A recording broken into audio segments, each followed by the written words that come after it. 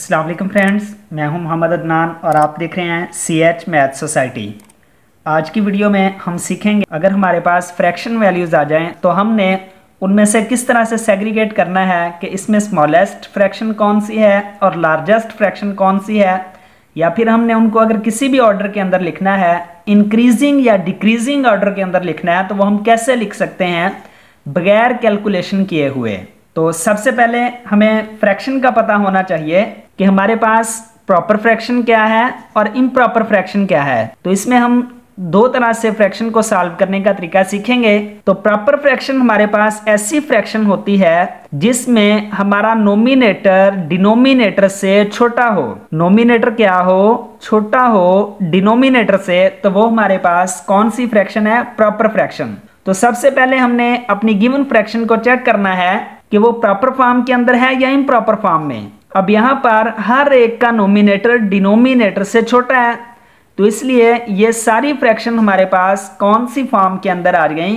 Proper fraction है ये। उसके बाद फिर हमने इनका डिफरेंस चेक करना है। अब 21 और 23 में डिफरेंस 2 है 33 और 35 में भी डिफरेंस 2 इसी तरह 55 और 57 में भी 2 का डिफरेंस है 85 और 87 में भी 2 का डिफरेंस आ रहा है। तो अगर हमारे पास इस तरह की फ्रैक्शन आ जाए तो फिर इसमें हमने नोमिनेटर को देखना है। तो नोमिनेटर में हमारे पास 85 सबसे बड़ी वैल्यू है तो इसलिए फिर इस फ्रैक्शन की लार्जेस्ट फ्रैक्शन इसमें हमारे पास क्या होगी?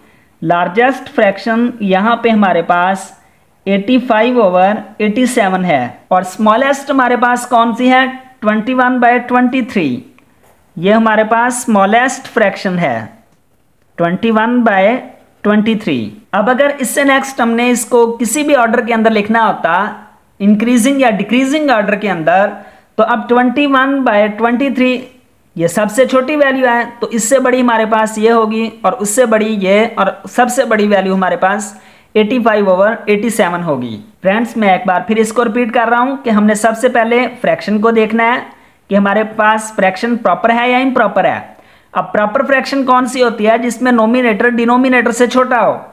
फिर हमने नोमिनेटर और डिनोमिनेटर का डिफरेंस चेक करना है। अगर डिफरेंस सेम हो तो फिर हम नोमिनेटर को देखेंगे। जो नोमिनेटर सबसे बड़ी वैल्यू होगी, वो हमारे पास लार्जेस्ट फ्रैक्शन आ जाएगी और जो सबसे छोटा नोमिनेटर होगा, वो हमारे पास स्मॉलेस्ट फ्रैक्शन होगी। अब हम यही केस अगर हमारे पास फ्रैक्शन इम्प्रॉपर फॉर्म के अंदर आ जाए तो फिर हम इसको किस तरह से सॉल्व करेंगे? फॉर एग्ज़ाम्पल इसी को अगर हम उलट कर दें तो फिर हमारे पास ये क्या शेप इसकी बन जाएगी? जिसमें नोमिनेटर बड़ा हो डिनोमिनेटर से तो वो हमारे पास इम्प्रॉपर फ्रैक्शन होती है।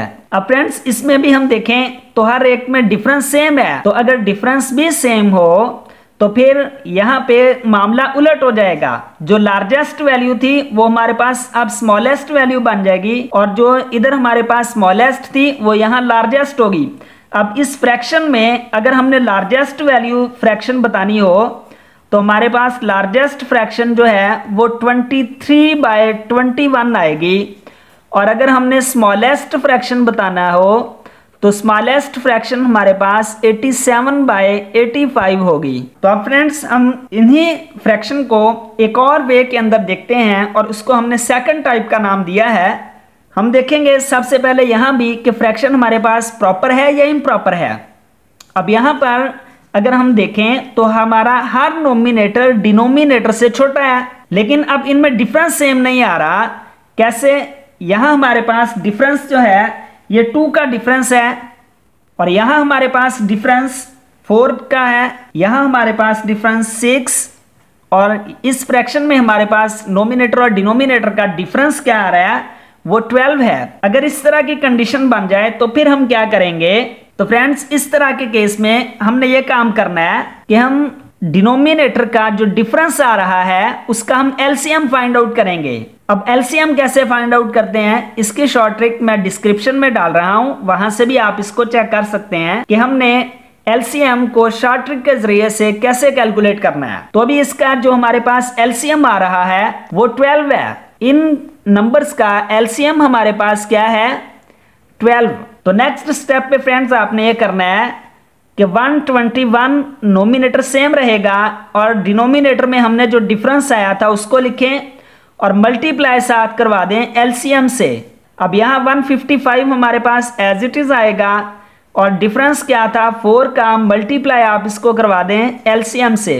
इसी तरह 37 divided by 6 multiply by 12 75 divided by 12 multiply by 12 अब इसको सिंप्लीफाई अगर हम करें two one the two two six the twelve four one ज़ा four four three the twelve, six one ज़ा six six two the twelve और यहाँ हमारे पास ट्वेल्व कैंसिल हो जाएगा।